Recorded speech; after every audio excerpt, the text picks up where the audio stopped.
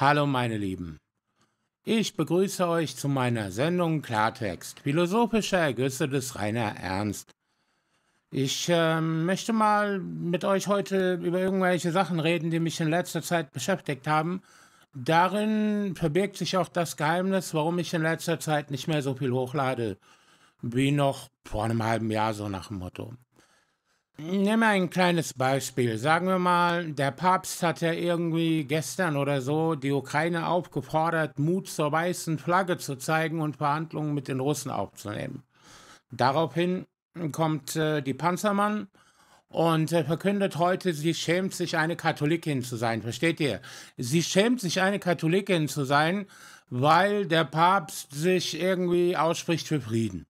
Alles klar, Panzermann, ich verstehe. Aber wisst ihr, wenn das heute so funktioniert und wenn die Panzermann im Endeffekt kein, weil ihr müsst bedenken, der Papst wird ja zitiert aus der Autorität seines Amtes als Papst sozusagen. Wenn der Papst nicht der Papst wäre, dann könnte er solche Forderungen stellen, so viel er wollte. Die Medien würden das gar nicht thematisieren. Jetzt ähm, ergießt sich ein Shitstorm von den üblichen Bellizisten gegen den Papst. Und wie gesagt, die Panzermann erzählt mir, sie würde sich schämen, Katholikin zu sein. Genauso gut schäme ich mich, Deutscher zu sein, weil die Panzermann es ja auch ist. So wie es im Moment aussieht. So wie ja bestimmte Stimmen aus den Medien einfach verschwunden sind und zum Schweigen gebracht wurden. Es gibt sie heute noch in irgendwelchen alternativen Medien und auch nur dort, wenn sie nicht zu laut sind. Und dafür wird die Diskussion rund um diesen Ukraine-Konflikt dominiert von den Panzerfrauen und Panzermännern und den Kiesewettern und wie sie alle heißen. Aber wenn das so ist, dann spielt sowieso alles keine Rolle. Und zum Beispiel, du hast doch immer bei den Linken, die Linken nerven mich in letzter Zeit ganz besonders, weil ich ähm, so eine komplette Implosion der linken Bewegung und der linken Ideologie heute sehe. Die Linken beschäftigen sich heute mit Gugu Gaga und dieser Schirdewan versäumt es bei keinem Interview ganz stolz zu verkünden, er ist nicht gegen Militäreinsätze und Waffenlieferungen. Alles klar, Schirdewan. Aber worüber haben wir dann die letzten 60 Jahre geredet? Ich bin aufgewachsen in einem bestimmten Spirit. Und jetzt erlebe ich aber wieder eine Zeit, genauso wie damals im ehemaligen Jugoslawien. Diesen Krieg gab es. Ich kann mich noch dunkel daran erinnern, als ich klein war. Und äh, irgendwie hatte ich so den Eindruck, dass der Westen ja, die Jugoslawen damals allein gelassen hat oder beziehungsweise vor allem seine eigenen Interessen verfolgt hat, dass ihm im Endeffekt unsere Leben egal waren. Und heute, wenn ich mir heute die Ukraine angucke, guck mal, es gibt irgendwelche Zahlen, dass eine halbe Million ukrainischer Männer entweder tot sind oder Invaliden, dauerhaft kriegsversehrt. Das heißt also im Endeffekt geht uns die Ukraine in beide Marsch vorbei. Wir führen einen geopolitischen Konflikt. Es gibt ja immer diese Leute, ja, warum ist dies so und warum ist dies so und wie könnte es sein? Versteht ihr, wie kann ich mir eine Brücke bauen um das Offensichtliche? Nur weil es nicht in meine Ideologie passt und in mein Narrativ, das ich die letzten 60 Jahre rauf und runter gedroschen habe, wie kann ich mir jetzt eine Brücke bauen, mir irgendwie zu erklären, warum ich trotzdem im Recht bin und das Offensichtliche nicht die Wahrheit ist. Aber das ist alles Bullshit. Die Wahrheit ist, sagen wir mal, wenn du jemand bist, der Mitleid hat mit Menschen in Gaza zum Beispiel, oder wenn du es nicht richtig findest, wie die Ukrainer in der Ukraine verheizt werden, oder wie heute so, so eine wie die Panzermann irgendwelchen Russenhass schürt und so weiter und so fort. Wenn ihr diese ganzen Hardliner auf den Sack, dann gehörst du zu einer Minderheit. Hm, ich weiß nicht, wie viele du bist. Du bist vielleicht 10% der Bevölkerung. Genauso gibt es auf der anderen Seite der Gesellschaft, sagen wir mal, die 10 bis 15 Prozent, die hassen Russland, die sind für Krieg, die denken, wir werden den ganz großen Wurf landen, wir müssen Putin besiegen, so nach dem Motto. Ist ja auch gut und schön. Darum soll es mir in dieser Sendung gar nicht gehen. Aber der Witz ist, dazwischen gibt es eine bräsige Mehrheit von zwei Dritteln der Gesellschaft, denen ist es im Endeffekt scheißegal. Verstehst du? Die blenden solche Themen einfach aus. Die freuen sich weder darüber, wenn Russen sterben, noch ähm, bedauern sie es, wenn Russen sterben. Die freuen sich weder darüber, wenn Deutschland Panzer baut, noch, noch bedauern sie, wenn Deutschland Panzer baut. Sie sind einfach nur mit sich selber beschäftigt und ähm, gehen ihrer Arbeit nach, leisten das, was sie halt zu leisten haben, kassieren ihr Gehalt, gehen nach Hause, wollen ihre Ruhe. Sagen wir mal, diese Bellizisten, die leben in der Illusion, man muss jede Stimme zum Schweigen bringen, die irgendwie den Krieg gegen, gegen Putin kritisiert. weil sie glauben, dass es eine Rolle spielt, ob jemand diesen Krieg kritisiert oder nicht. Aber in Wahrheit spielt es keine Rolle. Und genauso hast du irgendwelche Linken, die glauben, ja, wann werden die Menschen endlich begreifen, dass der Westen auch das Böse ist. Aber sie haben es doch schon begriffen. Wir wissen es doch alle. Wir wissen doch alle, wir haben doch Snowden mitbekommen. Wir wissen, dass wir überwacht werden. Wir haben das Wikileaks damals mitbekommen. Wir, Assange sitzt ja heute noch im Knast deswegen. Wir wissen, dass die US Army genauso brutal und unmenschlich ist. Oder sagen wir mal bestimmte, bestimmte Einheiten. Ich glaube nicht, dass alle, alle Army-Soldaten so sind wie die in diesem Hubschrauber-Video. Aber es gibt sie halt. Und dass gefoltert wird, das wissen wir auch. Wir wissen doch in Wahrheit alles schon. Und voll vieles von dem, was wir labern und was wir in irgendwelchen Podcasts, auch bei YouTube, was ich so sehe über den Tag hinweg heute. Sagen wir mal gut 85 Prozent der Sendungen, die ich heute in meiner Overview sehe, wenn ich YouTube aufmache, die sind so, dass ich mir nur den Titel durchlese und das Thumbnail angucke und ich weiß schon, dass es in Wahrheit Bullshit ist. Ein Bullshit von einer Sorte, wie auch ich ihn die letzten Jahre nicht selten gemacht habe. Aber in Wahrheit ist es irgendwie für den Arsch. Weil es nur so eine Art Ritual ist. Es ist so ein Dummgeschwätz, das mich bekennen lässt zu einer bestimmten Gruppe und zu einer bestimmten Ideologie. Aber in Wahrheit spielt das keine Rolle, versteht ihr? Ob ähm, der Russe in der Ukraine gewinnt oder nicht, mm, das spielt keine Rolle, wie sehr Panzermann hetzt. Panzermann kann hetzen, so viel sie will. Sie ist ja Waffenlobbyistin.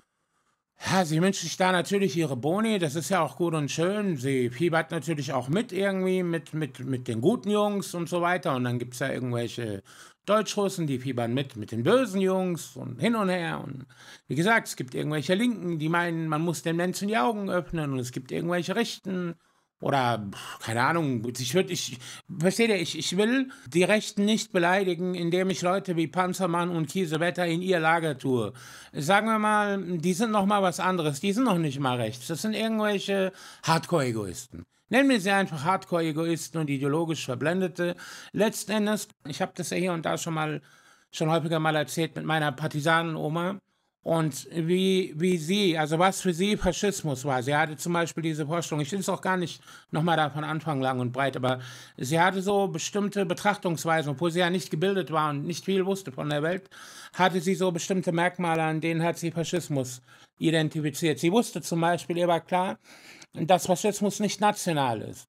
Das Fanatismus, diese Verblendung, dieser heilige Eifer, ich muss irgendwie, ach, so, dass es gar nichts damit zu tun hat, dass ob man jetzt Deutscher ist oder, oder irgendwas ist, sondern dass es von Mensch zu Mensch halt so und so sein kann. Und ähm, ihr habt doch bestimmt mitbekommen mit diesem Tacho irgendwas, ja, muss den Nazis den Schädel eintreten und so weiter. Soll ich mal was sagen?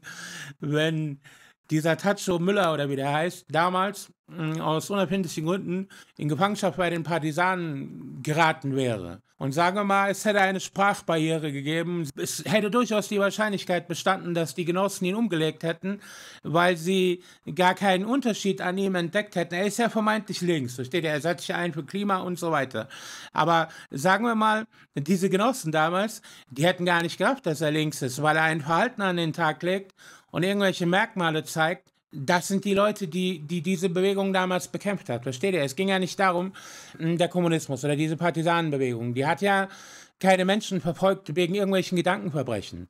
Du durftest auch damals schon denken, was du wolltest. Letzten Endes war es egal, was du dachtest. Es war nicht klug, manches laut zu sagen, aber im Endeffekt war vor allem eine radikale Haltung. Also die Vorstellung, dass da einer in, in, in, im ehemaligen Jugoslawien damals rumfuhrwerkt hat, der irgendwelche Leute umbringen wollte, aus welchen Gründen auch immer, das hätte den Genossen nicht gefallen, versteht ihr?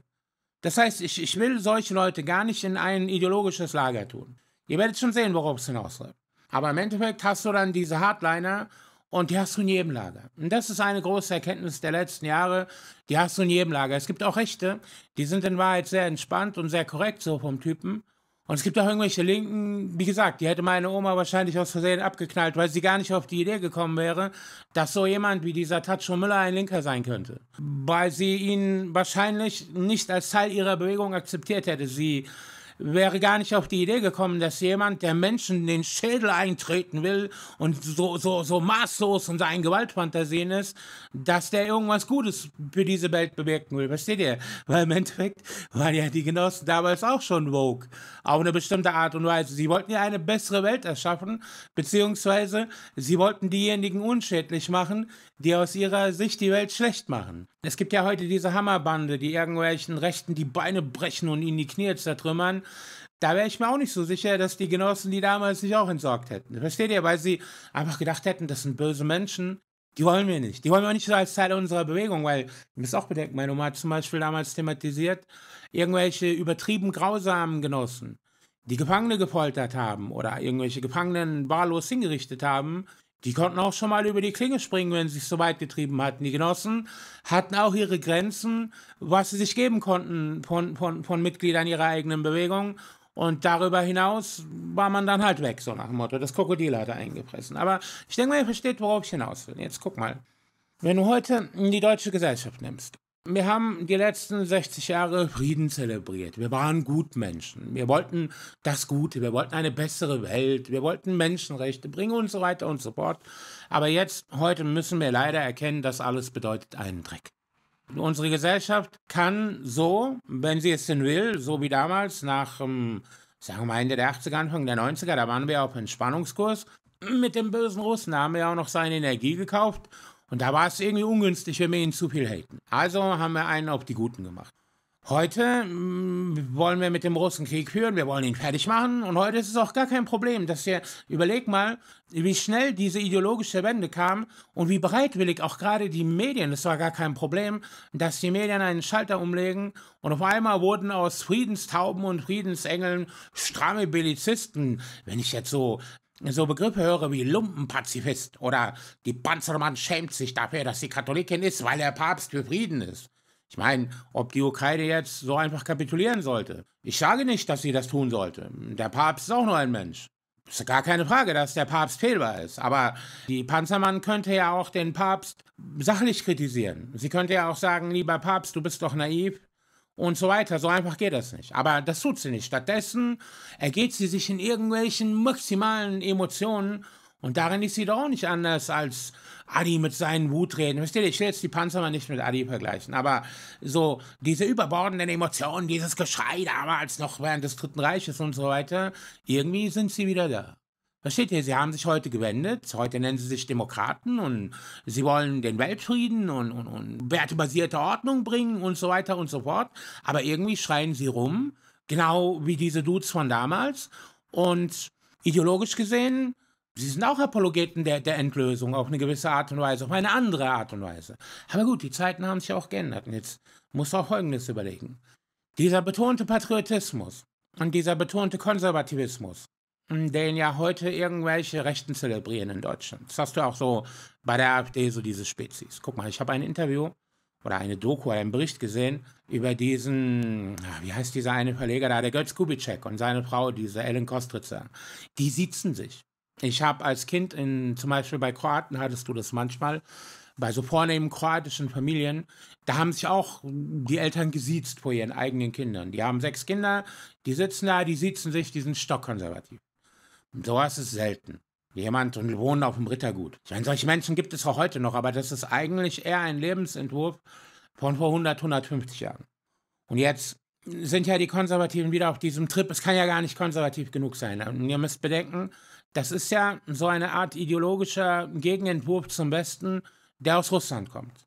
Versteht ihr, ich meine? Genauso wie du ja damals den Demokraten und Kapitalisten hattest, den, den westlichen Menschen, hattest du ja den Kommunisten und, und, und, Sozialisten, den östlichen Menschen. Aber du musst bedenken, es war natürlich nicht jeder Demokrat damals in den 50er, 60er Jahren. Also nicht jeder, der im Westen gelebt hat, war auch ein Demokrat. Nicht jeder war strebsam oder ein Leistungsträger. Manche waren ja auch faul und autoritär und haben ihre Family unterdrückt. Und genauso gab es auch im Kommunismus irgendwelche Leute, die waren Leistungsträger und waren kein Metasozial. Die, haben, die waren gierig und geizig und haben gar nichts abgegeben an ihre Genossen. Die waren völlig gegen den vermeintlichen Zeitgeist ihrer Zeit gebürstet. Und so ist doch heute in Wahrheit auch.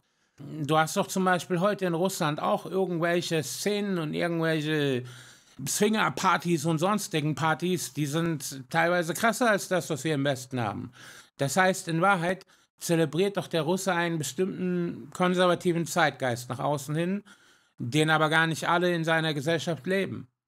genauso zelebrieren wir doch heute, so unsere Medien zelebrieren, als Gegenentwurf. So kommt mir das halt vor, so als totaler Gegenentwurf und als Troll an diesem konservativen Ding zelebrieren unsere Medien heute Vogue, so nach dem Motto.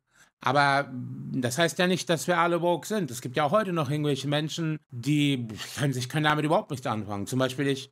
Ich habe mich auch nicht geändert jetzt, gar nichts derartiges. Und genauso, versteht ihr, worauf ich hinaus will? Es gibt so bestimmte Ideologien, die in einem Wettstreit liegen und Menschen bekennen sich zu dieser oder jener Gruppe, aber genauso wie wir doch die letzten 60 Jahre unser Gutmenschentum zelebriert haben. Die ganzen Hater, die Strack Panzermann, die hat doch auch irgendwo gelebt die letzten 60 Jahre. Die war Teil unserer Gesellschaft, obwohl sie ja, oder der Kiesewetter oder solche Leute, der Sönke Neitz, es gibt unglaublich viele davon mittlerweile, die man irgendwie aufzählen könnte, die sind für mich Hater. Das sind irgendwelche Russenhass. Die waren doch trotzdem auch Teil unserer Gesellschaft, nur konnten sie nicht so, wie sie wollten, oder sie hatten keine Veranlassung, weiß der Geier, versteht ihr, wie ich meine? Und genauso wie gesagt, hast du doch in Moskau und Petersburg irgendwelche liberalen Russen, die zelebrieren irgendwas und feiern irgendwelche Swinger-Partys und weiß der Geier und entsprechen überhaupt nicht diesem traditionellen Bild. Und deswegen ist auch vieles von dem, was wir Menschen labern, viel Überzeugungsarbeit, die ich geleistet habe, um mal den Bogen an den Anfang zu machen, warum ich dir das überhaupt alles erzähle. Guck mal, viel von dem Content, den ich aufgenommen habe auf meinem Kanal, der ist im Endeffekt für Arsch. Weil ich ich bin und ihr hört mir zu, also wenn ihr mir zugehört habt, wenn ihr die entsprechenden Sendungen geguckt habt, dann habt ihr das getan, weil ihr halt so seid. Aber dass jetzt irgendeiner gekommen ist, der ganz anders drauf war, sagen wir mal, so ein Belizist, kommt jetzt auf meinen Kanal, hört meine Sendung und plötzlich so, Rainer, deine Worte haben mich berührt. Du hast mein Leben verändert. Ich gehe jetzt, keine Ahnung, ich fahre jetzt nach Moskau und ähm, frage Putin, ob er mich adoptiert. So nach dem Motto, das ist doch Bullshit. Steht hier, genauso wird ein eingefleischter Rechter nicht plötzlich links und ein Linker wird nicht rechts und die Strack-Panzermann hört nicht auf, Waffenlobbyistin zu sein, weil ich ihr dieses oder jenes erzähle und ich werde nicht zum Bellizisten, egal wie viel die Panzermann rumtobt. Versteht ihr, dass die Panzermann heute in den Medien so ein großes Maul haben kann, heißt erstmal nichts weiter, als dass die Mehrheit der Medienmacher, der Entscheider in diesen Gremien des ÖRR im Endeffekt derselben Meinung sind wie sie. Und dass der Böhmermann und die Bosetti so lästern über die eigene Bevölkerung, sie sagen im Endeffekt nur das, was die Obrigkeit doch sowieso über dich denkt. Und genauso hast du doch auch irgendwelche alternativen YouTuber, die lästern über Habeck und Baerbock und Ricarda Lang und so weiter und sagen doch im Endeffekt auch nur das, was du denkst. Aber bringt es irgendwas? Versteht ihr? Ich meine, wir ergötzen uns daran. Wir lesen Bildzeitung oder manche lesen Bildzeitung, weil sie nun mal gerne irgendwelche Skandale hören, weil es ja schon fast keine Rolle spielt, ob es wahr ist oder nicht. Steht ihr, wenn wir irgendjemanden hassen und dann kommt da, sagen wir mal, irgendwelche merkwürdigen alternativen grünen Weiber, die hassen den Lindemann, der passt ihnen nicht. Ich meine, kann ich auch irgendwie nachvollziehen. Ist ja ein sehr spezieller Typ, sein Lebensentwurf und, und sein Reichtum und seine Macht, wie er da halt mit Frauen verkehrt und so weiter und so fort, das muss ihnen ja auch nicht gefallen.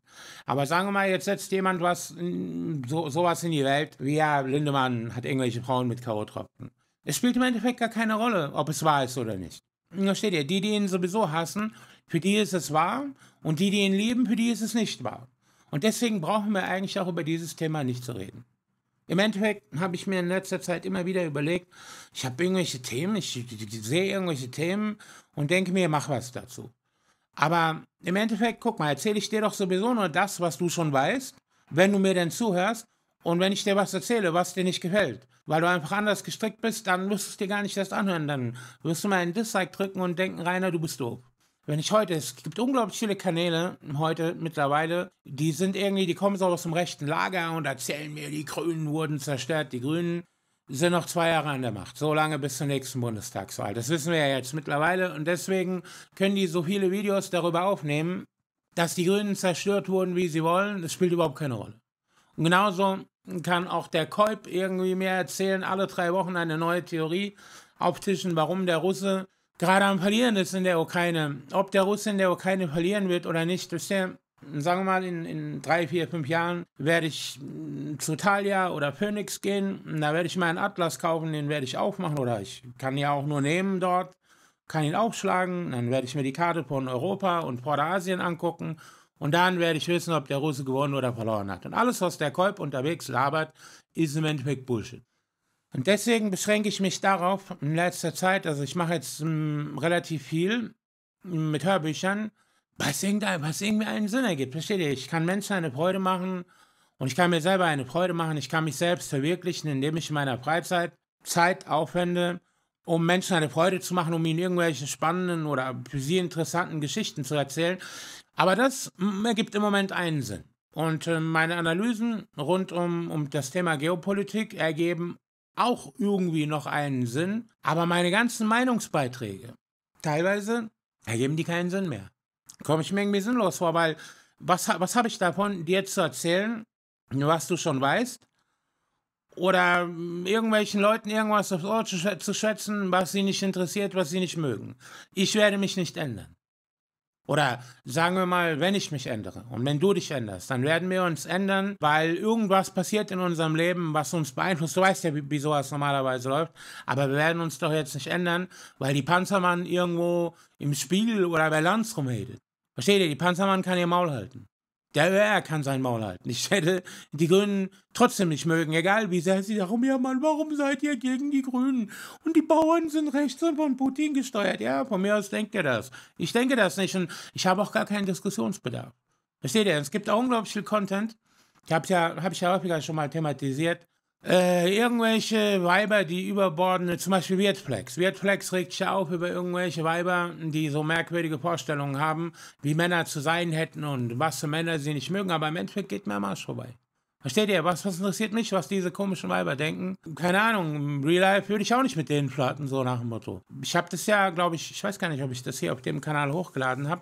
Im Real Life hast du ein sehr gutes Gespür dafür, bei welchen Menschen, mit welchen Menschen du nichts anfangen kannst da würdest du gar nicht erst mit solchen Frauen flirten. Im Internet sitzt du aber da und guckst dir irgendwelche Sendungen darüber an, was sind Scheiß die labern und dann kommentiert jemand, mit dem du halbwegs auf einer Wellenlänge bist, wie dumm die eigentlich sind. Aber ich kann es auch lassen, so nach dem Motto. Ich weiß doch schon, also ich kann mir doch schon denken, wenn ich drei, drei, vier, fünf Sendungen von Weirdflex gesehen habe, dann weiß ich doch schon, worauf es bei seinem Content hinausläuft. Ich meine, er hat 300.000 Abonnenten, freut mich auch wie ihn. Ist ja auch ein cooler Dude, so nach dem Motto, aber irgendwie kann es auch lassen, versteht ihr? Und ähm, Daniele Ganser erzählt mir auch schon seit 20 Jahren was über die Machenschaften der, des Imperiums USA und des dunklen Reiches NATO, aber das weiß ich doch auch schon, was da kommen wird. Letzten Endes wird es immer auf selber hinaus so. Und so weiter. Versteht ihr? Es läuft in Wahrheit immer, also nicht immer, aber oft, in vielen läuft es immer auf selber hinaus, irgendwelchen wirklich bereichernden Content. Irgendwas Neues, irgendwas was einen erfüllt, was einem was bringt, wo man sich das so reinzieht und dann am Ende fühlt man sich besser oder größer oder stärker oder man hat irgendwelche Erkenntnisse oder irgendwelche Einsichten oder man irgendwas, man zieht sich irgendwas rein und denkt so, oh mein Gott, das hat jetzt mein Leben verändert. Das ist heute in Wahrheit unglaublich selten. Das war schon immer unglaublich selten. Aber heute verbringen wir viel mehr Zeit damit, uns irgendwelchen Mist reinzuziehen. Oder ich als YouTuber verbringe viel Mist, viel Zeit damit, irgendwelchen Mist zu kreieren, den ich auch, wo ich im Endeffekt auch sein lassen könnte. Diese ganzen ideologischen Gegensätze, Vogue oder nicht Vogue, Patrioten oder keine Patrioten, Hü oder Hot, hell oder dunkel, schwarz oder weiß, die Großen gegen die Kleinen. Guck mal, zum Beispiel, ich habe so einen Artikel gelesen, irgend so eine Transfrau, also da gab es mal so eine Miss Asien irgendwas, ich glaube äh, irgendeine Chinesin, Thailänderin, wie auch immer, die hat sich dann zum Mann umoperieren lassen. Und die ist zu Geld gekommen, die war Model, äh, sie hat sich umoperieren lassen zu einem Mann. Das war, hat sich so einen späten Wunsch erfüllt. Jetzt hat sie einen Miss Asien-Wettbewerb gekauft, der günstig zu haben war, weil doch in Wahrheit vieles von dem, versteht ihr, vieles von dem, was heute von Vogue unterwandert wurde, ist doch in Wahrheit schon lange auf dem absteigenden Ast. Guckt ihr noch die Eurovision? Ich nicht. Mir ist scheißegal, wer dort gewinnt. Von mir aus gewinnt ab jetzt die Ukraine die nächsten 50 Jahre jedes Jahr. Ich meine, ich weiß doch, dass es, dass ihr aus politischen Gründen gewinnt. Es könnte der letzte, hinterletzte Honk dorthin geschickt werden. Oder es gewinnt sowas wie dieser komische Österreicher mit Bart, ihr wisst schon. Natürlich ist das aus politischen und ideologischen Entscheidungen. Aber letztendlich geht es mir doch eher am Arsch vorbei, was mit der Eurovision ist. Und letzten Endes geht es mir auch am Arsch vorbei, wer, wer Miss Asien ist. Wenn ich heute Instagram aufmache, dann springen mir doch förmlich 10.000 perfekt gestylte, total zeroperierte Weiber ins Auge, so nach dem Motto, wofür brauche ich da noch eine Miss Germany? Was interessiert mich, wer Miss Germany ist? Überlegt euch das mal ganz nüchtern. Irgendwelche Leute, die sich so aufregen, wow, jetzt wurde, hat's wieder irgend so eine dicke, dicke Transtroller, hat irgendeinen Wettbewerb gewonnen. Aber ich habe doch auch die letzten Jahre mich nicht darüber, dafür interessiert, wer irgendwelche Wettbewerbe dieser Art gewonnen hat. Und jetzt auf einmal rege ich mich drüber auf, weil die Miss Germany 2024 oder 2023 nicht mehr so aussieht wie die Miss Germany 1990. Ich habe mich auch aufgeregt, weil irgendwelche Leute gegen Weihnachten haten. Aber mal ehrlich, wann, wann, wann habt ihr das letzte Mal? Überleg mal. Feierst du noch so richtig Weihnachten, so wie du solltest? Nach altem Brauch? Meine Oma hat noch Weihnachten gefeiert. Nach altem Brauch. So, wie ein bodenständiger orthodoxer Slave es feiert. Ich gehe zu meinen Eltern, so als Familien, das ist dort so der letzte Brauch, den ich noch befolge. Diese ganzen Feiertage sind ja bei den Jugos irgendwie so, so als Familientage angedacht. Das heißt, ich gehe zu meinen Eltern, meine Eltern kaufen eine bessere, eine bessere Torte. Das kostet ja heute ein Vermögen, so eine schäbige Koppenrad- und Wiesetorte. Kann ja locker mal ein 16er kosten. Dann kaufen die halt so eine Torte und kaufen irgend so einen teuren Sekt und dann hauen wir uns das rein und das war's. Versteht ihr? Das war dann das Fest der Liebe und des Friedens. Und wenn jetzt irgendwelche merkwürdigen, irgendwelche merkwürdigen Grünen kommen und mir erzählen wollen, wir sollten nicht mehr Weihnachten feiern, ich feiere es doch eh schon nicht. Versteht ihr? Ihr könnt mir doch nicht wegnehmen, was ich mir doch selber schon weggenommen habe und so weiter. Und ähm, wenn irgendwelche Gay-Aktivisten meinen, sie müssen sichtbarer werden, sollen sie doch. Versteht ihr? Sollen sie auch machen, was sie wollen. Ist mir doch egal. Ich habe mit der, mit der Gay-Community, ich meine, ich lebe ja in Frankfurt, das hat ja eine der stärksten Gay-Communities überhaupt. Das ist jetzt alles so ein bisschen nach Berlin abgewandert. Aber ich kann mich noch erinnern, als ich Schüler war, da war das ja hier die Gay-Stadt schlechthin, aber ich hatte mit diesen Leuten, mit der entsprechenden Subkultur und mit den entsprechenden Bars und Clubs hatte ich noch nie was zu tun, weil ich schon mal nicht gay bin. Und jetzt habe ich auch nichts damit zu tun. Und auch wenn die da an einem Tag im Jahr irgendwo rumlaufen und sich so eine Bad Taste Veranstaltung geben müssen, manche. Aber wenn man das auch nicht verallgemeinern kann, sollen sie doch. Ist mir doch egal. Steht ja, und wenn Strack Panzermann mir unbedingt erzählen muss, dass Putin kurz davor ist abzukratzen, dann soll sie mir das halt erzählen. Ich werde ja sehen, was passieren wird. Im Endeffekt interessiert mich das alles nicht. Und im Endeffekt ist unglaublich vieles davon einfach nur dummes, sinnloses Gesülze. Ich mache einen YouTube-Kanal und bin irgendwann zu der Erkenntnis gelangt, dass YouTube im Grunde für den Arsch ist. Dass soziale Medien sowieso komplett für den Arsch sind. Es gibt ja jetzt diese KI-generierten Bilder. Ich generiere selber Bilder mit, äh, mit Midjourney für meine Hörbücher. Aber du hattest in den letzten, ja, so in den letzten ein, zwei Jahren, hattest du so eine Schwemme von diesen sinnlosen Bildern, weil das sieht ja alles nice aus. Wenn du Midjourney richtig einstellst, dann kannst du auch nur schreiben, man Mann mit Pfeife sitzt auf einer Bank. Und du kriegst so ein krasses Bild raus, mit so einem krassen Schäfer, mit einem krassen Falten. Und irgendwo wird mit Johnny schon ein, ein entsprechendes Motiv klauen und es wird zu krass aussehen. Aber der Witz ist, da das ja out of context ist, versteht ihr, solche Bilder kann ich ja, da kann ich ja tausend Stück am Tag generieren. Zum Beispiel bei Instagram. Instagram ist ja ursprünglich ein Bilderdienst. Ich meine, hat sich auch erweitert in den letzten paar Jahren, aber war ursprünglich einmal ein Bilderdienst. Auch heute noch werden sehr viele Bilder dort gepostet. Hat es so eine Schwemme von diesen KI-Bildern gegeben, die aber in Wahrheit total langweilig und dumm sind. Und wenn ich da so ein Video sehe, wie zwei Mütter aneinander geraten und fast in der Schlägerei ausbrechen, dann ist es ja emotional besetzt mit irgendwas. Kann ich mir angucken, da kann ich Partei ergreifen oder mich darüber lustig machen oder mich drüber aufregen oder sonst. Aber bei so einem KI-generierten Bild, das ist ja leblos. Das sind ja to tote Bildchen bei. Und der Witz ist, diese Schwemme von diesen Bildern hat, hat Instagram innerhalb von relativ kurzer Zeit getötet. Wenn du heute irgendwas postest, die meisten Menschen gucken gar nicht mehr auf den Feed. Die gucken noch, was posten ihre Leute, mit denen sie befreundet sind. Du kannst auch interagieren, auch heute noch bei Instagram.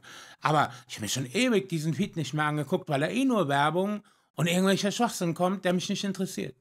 Du hast irgendwelche interessanten Influencer bei Telegram, denen ihre Kanäle abonniere ich mir, da gucke ich drauf. Den folge ich vielleicht auch in irgendwelchen anderen sozialen Medien.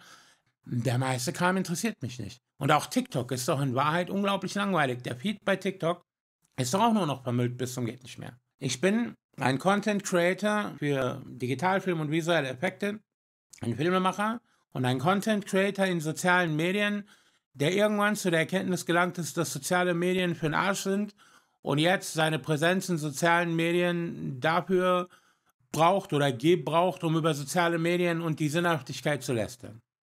Und selbst dafür ist mir meine Zeit mittlerweile zu schade. Ja, meine Zuschauer und Zuschauerinnen, so sieht's nämlich aus. Und auch diese ganzen Shitstorms. Ey, ohne Scheiß, gebt euch mal Threads, Alter. Threads ist so krass. Die ganzen Woken, die sind jetzt bei Threads. Das ist lustig zu lesen. Und Scheiß, da sind Leute, da sind, es sind hauptsächlich Frauen. Irgendwie scheint Woke so ein Frauending zu sein. Ich will gar nichts sagen gegen die Frauen, aber zum Beispiel, sie regen sich heute noch darüber auf, dass sie irgendwie gemobbt wurden, also dass irgendjemand sie nicht mochte während ihrer Schulzeit. Und dann drehen sich epische Diskussionen, epische Diskussionen drehen sich darüber, wie sehr das damals ihre Gefühle verletzt hat. Also es geht unglaublich viel um Befindlichkeiten. Über sie selber, also über sie selber, ihre Gefühle und ihre Befindlichkeiten. Ich bin halt so einer von diesen typischen Männern, die so aus so einer toxischen, patriarchalen Gesellschaft kommen, die sich gar nicht so viel über sich selber Gedanken machen und auch nicht unbedingt sehr leicht einen Bezug zu ihren eigenen Gefühlen. Also ich habe das im Laufe der Jahre habe ich das geübt. Ich habe mich da auch weiterentwickelt. Aber die Vorstellung, dass ich da sitze und einen Social Media Account betreibe, ich meine, das ist im Endeffekt genauso sinnvoll wie das, was ich mache. Meins auch sinnlos.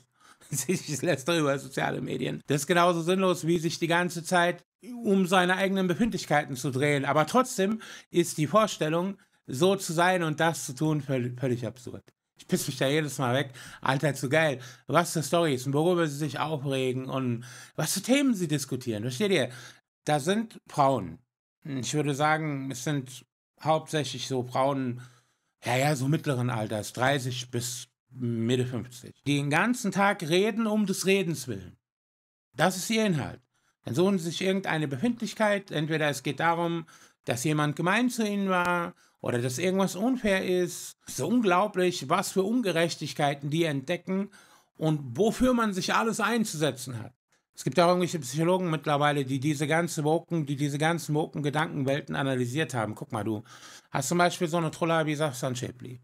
Die denkt, sie wird diskriminiert als Palästinenserin, als Frau, als Muslima und so weiter.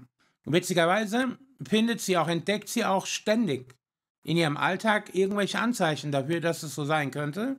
Und alles, was Interpretationsspielraum hat. Versteht ihr, wenn, wenn du irgendwas zu Safsan Schäpli sagst, es gibt auch so Beispiele, die sie selber erzählt. Zum Beispiel, sie ist in einem internationalen Hotel in Berlin, steigt sie ab bei einer Konferenz. Und eine deutsche Hotelmitarbeiterin spricht sie an auf Englisch. Dann flippt Safsan Schäpli aus und rennt weinend davon und denkt, sie wird nicht akzeptiert und sie wird diskriminiert. Und versteht ihr, sie interpretiert unglaublich viel soziale und sonstige Missachtung. Die Hotelmitarbeiterin hat sich wahrscheinlich gar nichts dabei gedacht. Und so ist es häufig so, dass irgendwelche Leute irgendwelche Sachen sagen, gerade im Internet. Das Internet und die sozialen Medien sind ja ein Hort der Missinterpretation und ein Hort des Interpretationsspielraums, weil wenn du mit jemandem real laberst, dann siehst du ihn ja. Du siehst seine Protze, du hörst seinen Tonfall und so weiter und so fort. Auch da kann es zu Missverständnissen kommen. Aber das Internet ist ja prädestiniert dafür. Aber jetzt stell dir vor, du hast ein bestimmtes Vorurteil. Und sei es nur das Vorurteil, dass du ein Opfer bist. Oder dass irgendwas ungerecht ist. Oder dass irgendwas gegen dich ist. Aber total vieles davon ist gar nicht gegen dich. In Wahrheit bist du nur ein kleines, unbedeutendes Rädchen in einer gigantischen Maschine aus acht Milliarden Menschen auf dieser Welt. Ja, ganz ehrlich, die Welt, die kackt auf dich, die kackt auf mich. Wir sind sowas von unwichtig. Und dann hast du, wie gesagt, da irgendwelche Leute, also vorzugsweise Frauen, die da sitzen und irgendwelche vermeintlichen Ungerechtigkeiten entdecken. Mag ja sein, dass manches davon echte Ungerechtigkeiten sind. Aber 90% davon ist, ist ein Handkäse. Und irgendwelche Diskriminierungen und so weiter. Versteht ihr? Diese, diese Hotelmitarbeiterin, die sieht eine, eine, eine Frau, die sieht aus wie eine Muslima. Und sie sitzt in einem Internet, sie arbeitet in einem internationalen Hotel. Ja, sie versucht es halt mal auf Englisch. Woher will sie wissen, dass Safsan aus Berlin ist? Dass sie von hier ist? Das weiß sie nicht. Aber trotzdem kann es für Safsan Schäpli nichts anderes sein als eine Missachtung und Diskriminierung ihrer Person. Und Scheiß, das ist Vogue. Vogue ist viel stumpfsinniger und viel primitiver, als ich Wahrheit dachte.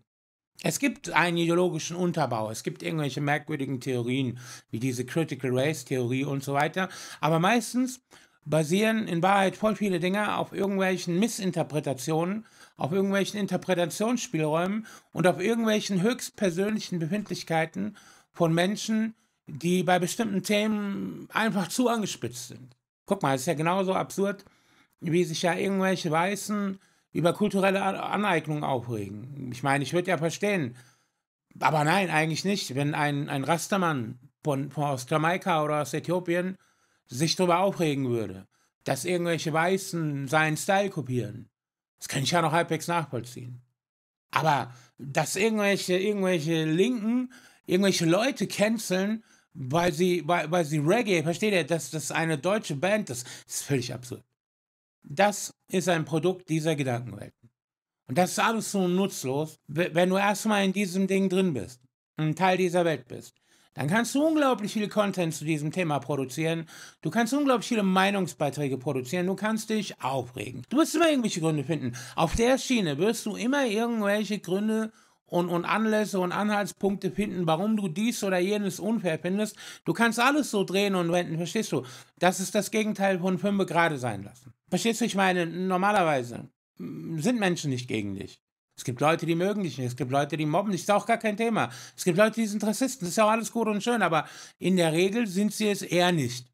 Aber wenn du anfängst, nach Ungerechtigkeiten, nach, nach diesen ganzen Dingern zu suchen und alles, was du entsprechend auslegen kannst, zielgerichtet auch aktiv so auszulegen, dann, ja, dann welcome to hell, so nach dem Motto. Ich hoffe, diese Sendung hat dir irgendwas gebracht, aber mir hat sie auf jeden Fall was gebracht. Ich ähm, wünsche noch einen schönen Abend und ja, man hört voneinander. Mach's gut, lieber Zuschauer und Zuschauerin und reg dich nicht so viel auf. Glaub mir, es bringt nicht so viel. Mach irgendwas, worauf du wirklich Bock hast. Mach's gut.